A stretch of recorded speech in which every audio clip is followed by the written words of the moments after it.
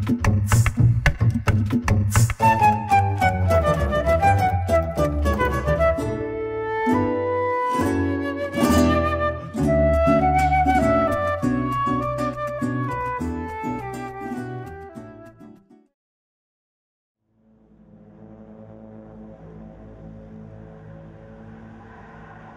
En el Centro de Investigaciones de Astronomía SIDA Francisco J. Duarte del Estado Mérida se dieron cita a diferentes medios comunitarios para iniciar la discusión en materia de comunicación contenida en el Plan Patria Socialista 2013-2019.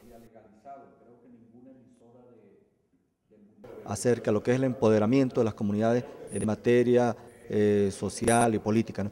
Yo creo que todo esto pasa por las propias comunidades comienzan a definir qué tipo de sociedad queremos, cuál es el tipo de educación, cuál es el tipo de comunicación, cuál es el tipo de organización, cuál es el tipo de empresa que realmente hacen falta en los medios comunitarios, las televisoras comunitarias, medios impresos y radio. Estamos haciendo nuestro aporte para lograr ese sistema de comunicación realmente que salga desde las propias comunidades y que muchas veces no son impuestas a través de instituciones eh, del Estado o de medios privados. Yo creo que con los avances que hicimos acá, luego esto lo vamos a llevar a la discusión de nuestros propios colectivos y de allí van a salir propuestas bien interesantes, repetimos, para generar una comunicación que llegue a las propias comunidades. La comunicación mediática que plantea el capitalismo concibe a sus receptores como objetos desvinculados de la realidad. La lucha por transformar esta progresiva realidad exige acciones transformadoras. Uno de los puntos que estuvimos tratando en la propuesta es que comencemos a educar a través de los medios porque en la actualidad no se está haciendo.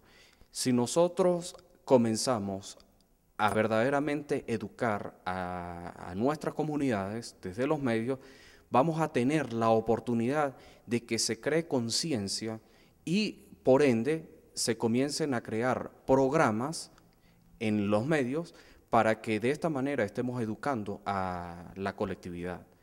Eh, debemos canalizar y tener en cuenta que estamos generando una herramienta transformadora y uno de los puntos que nosotros estamos defendiendo es que exista un enlace tanto los medios como los comunicadores como las comunidades. Ese sería el punto de partida para que comience a ver el cambio que nosotros queremos en la, en la futura rama de la comunicación. La concepción de la comunicación en el siglo XXI está por definirse. Sin embargo, podemos mostrar algunas de sus premisas. La comunicación tiene que ser libre y plural. Eh, Estamos atrapados en una realidad comunicacional absolutamente mediática y la gente habla permanentemente de medios, incluso uno contrasta los medios privados con los medios públicos, con los medios comunitarios y hablamos es de medios. No hablamos de comunicación realmente, hablamos de medios y hablar de medios significa hablar de aparatos, significa hablar de industrialización, significa hablar de tecnología y de lo que se trata realmente es llegar a la dimensión humana de lo que significa la comunicación y tocaría reivindicar eh, esa tesis de Habermas sobre el problema de la racionalidad comunicativa.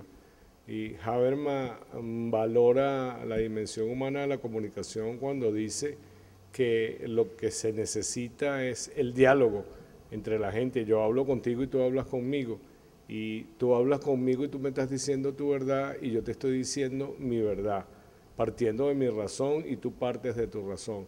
Es sincera, es eh, verdadera lo que nos estamos diciendo y, esto suena un poco a locura, por decirlo de alguna manera. Suena locura porque suena a utopía, suena a colocar el asunto en un plano absolutamente ideal pero eso significa en pocos términos recuperar la dimensión humana de la comunicación, que no es solamente es una cuestión propia de los seres humanos y que es un derecho de la humanidad, sino que es la revalorización de una verdadera comunicación donde no intervienen los medios. Estamos hablando entonces de una comunicación no mediática y esto sería lo necesario y lo lógico en una sociedad de iguales como la que nosotros estamos proponiendo.